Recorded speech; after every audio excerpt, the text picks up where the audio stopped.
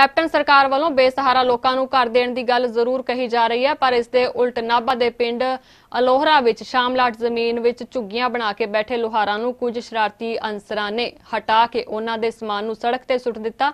ਇਹੀ ਨਹੀਂ, ਇਹਨਾਂ ਅਨਸਰਾਂ ਵੱਲੋਂ ਇਹਨਾਂ ਦੀ ਕੁੱਟਮਾਰ ਵੀ ਕੀਤੀ ਗਈ। ਉਧਰ ਪੁਲਿਸ ਵੱਲੋਂ ਘਟਨਾ ਦਾ ਜਾਇਜ਼ਾ ਲਿਆ ਗਿਆ ਤੇ ਧੱਕਾਸ਼ਾਹੀ ਕਰਨ ਵਾਲਿਆਂ ਖਿਲਾਫ ਕਾਰਵਾਈ ਦੀ ਗੱਲ ਕਹੀ ਜਾ ਰਹੀ ਹੈ। ਪਿੰਡ ਦੇ ਸਰਪੰਚ ਹਰਜਿੰਦਰ ਸਿੰਘ ਮੁਤਾਬਿਕ ਉਹਨਾਂ ਦੇ ਪਿੰਡ ਦੀ ਪੰਚਾਇਤ ਵੱਲੋਂ ਇਹਨਾਂ ਦੇ ਬੈਠਣ ਲਈ ਥੋੜੀ ਜਿਹੀ ਜਗ੍ਹਾ ਦਿੱਤੀ ਗਈ ਸੀ ਤਾਂ ਜੋ ਇਹਨਾਂ ਲੋਕਾਂ ਦਾ ਵਸੇਬਾ ਹੋ ਸਕੇ। ਪਰ ਕੁਝ ਲੋਕ ਇਸ ਜ਼ਮੀਨ ਤੇ ਕਬਜ਼ਾ ਕਰਨ ਦੀ ਨੀਅਤ ਨਾਲ ਉਹਨਾਂ ਨੂੰ ਇੱਥੋਂ ਹਟਾ ਰਹੇ ਨੇ। ਅਸੀਂ ਹਰੇਕ ਦੀ ਥਾਂ 'ਚ ਜਾ ਕੇ ਬੈਠਨੇ ਆ ਕੋਈ ਸਾਨੂੰ ਉੱਠਣ ਬਾਰੇ ਕਹਿੰਦਾ, ਅਸੀਂ ਉੱਠ ਜਾਂਦੇ ਆ ਜਦੋਂ ਇਹਨਾਂ ਨੇ ਸਾਨੂੰ ਬਿਠਾਏ ਸੀ, ਇਹ ਪਿਆਰ ਨਾਲ ਕਹਿੰਦੇ, ਅਸੀਂ ਉੱਠ ਜਾਂਦੇ। ਜਦੋਂ ਇਹਨਾਂ ਨੇ ਧੱਕਾ ਰਾਈ ਕਰੀ ਇੱਥੇ, ਸਾਡਾ ਸਮਾਨ ਸਾਰਾ ਚੱਕ ਕੇ ਵਗਾਤਾ, ਨਾਲੇ ਸਾਡੇ ਤੋਂ ਕੁੱਟਮਾਰ ਕਰੀ।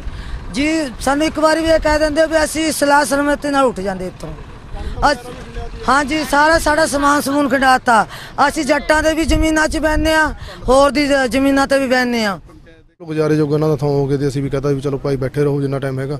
ਜਦੋਂ ਕਿਤੇ ਸਰਕਾਰ ਵੱਲੋਂ ਤੁਹਾਨੂੰ ਕਿਤੇ ਜਗ੍ਹਾ ਮਿਲ ਕੇ ਜੇ ਕੋਈ ਅਲਾਟਮੈਂਟ ਹੋਊਗੀ, ਤਾਂ ਉੱਥੇ ਆਪਦਾ ਪੱਕਾ ਕਬਜ਼ਾ ਕਰ ਲਿਓ। ਤੇ ਕੁਝ ਨਜਾਇਜ਼ ਬੰਦਿਆਂ ਨੇ ਜਿਨ੍ਹਾਂ ਦਾ ਇੱਥੇ ਕੋਈ ਕਬਜ਼ਾ ਵੀ ਨਹੀਂ ਸੀ ਕੁਝ ਵੀ ਨਹੀਂ ਸੀ ਹੈਗੀ, ਜਗ੍ਹਾ ਵੀ ਨਹੀਂ ਹੈਗੀ, ਉਹਨਾਂ ਦੇ ਨੌ ਪੰਚਾਇਤੀ ਜਗ੍ਹਾ ਹੈ। ਉਹਨਾਂ ਨੇ ਧੱਕਾ ਕੀਤਾ ਆ ਕੇ ਸਵੇਰੇ ਇਹਨਾਂ ਨਾਲ ਸੱਜਰੇ ਧੱਕਾ ਕਰਕੇ ਇਹਨਾਂ ਦੀ ਰੇੜੀਆਂ ਰੂੜੀਆਂ ਪਲਟਾਤੀਆਂ ਸਮਾਨ ਖਟਾਤਾ, ਕਣਕ ਕੁਣਕ ਵਗੈਰਾ, ਟੀਵੀ ਟੂਵੀ ਭੰਨ, ਕੁੜੀਆਂ ਦੇ ਵਿੱਚ ਮੁੰਡਿਆਂ ਦੇ ਇਹਨਾਂ ਨੇ ਛੋਟੇ ਛੋਟੇ ਮਾਰੀਆਂ ਨੇ। ਪਰ ਇਹ ਗਰੀਬ ਬੰਦੇ ਨੇ, ਇਹ ਲੜਨ ਤੋਂ ਡਰਦੇ ਨੇ ਮੂਹਰੋਂ। ਵੀ ਸਰਕਾਰ ਵੱਲੋਂ ਇਹਨਾਂ ਦੇ ਗਰੀਬਾਂ ਦਾ ਜਾਂ ਕੋਈ ਹੱਲ ਕੀਤਾ ਜਾਵੇ ਜਾਂ ਫਿਰ ਇਹਨਾਂ ਨੂੰ ਜਿਹੜਾ ਬਣਦਾ ਮੁਆਵਜ਼ਾ, ਜਿਵੇਂ ਇਹਨਾਂ ਨੇ ਗੱਡੀਆਂ ਤੋੜਤੀਆਂ, ਪੀਪੇ ਭੰਨਤੇ ਟੀਵੀ ਭੰਨਤੇ ਹੋਰ ਜਿਹੜਾ ਭਾਂਡੇ ਭੁੰਡੇ ਤੇ, ਬਾਕੀ ਇਹਨਾਂ ਦਾ ਸਮਾਨ ਵਿੱਚੋਂ ਚੋਰੀ ਵੀ ਕਰਕੇ ਲੈ ਗਏ। ਰਜਿੰਦਰ ਸਿੰਘ ਸਰਪੰਚ ਨੇ ਜੀ ਫੋਨ ਕੀਤਾ ਸੀ ਅੱਜ ਸਵੇਰੇ 7 ਵਜੇ ਜੀ। ਤੇ ਮੈਂ ਤੁਰੰਤ ਐਸਐਚਓ ਸਮੇਤ ਇੱਥੇ ਮੌਕੇ ਤੇ ਪਹੁੰਚੇ ਜੀ।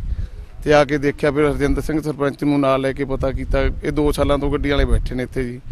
ਜਿਹੜੇ ਰਮਦਾਸੀਆ ਸਿੱਖ ਨੇ, ਇਹ ਧੱਕਾ ਕਰ ਰਹੇ ਨੇ ਜੀ। ਇਹਨਾਂ ਦੀ ਗੱਡੀਆਂ ਦੀ ਭੰਨ ਤੋੜ ਕੀਤੀ ਹੈ ਜੀ। ਹੁਣ ਜੋ ਵੀ ਆ ਕਾਨੂੰਨੀ ਕਾਰਵਾਈ ਮੁਤਾਬਕ ਦਰਖਾਸਤ ਕੀਤੀ ਜਾਊਗੀ।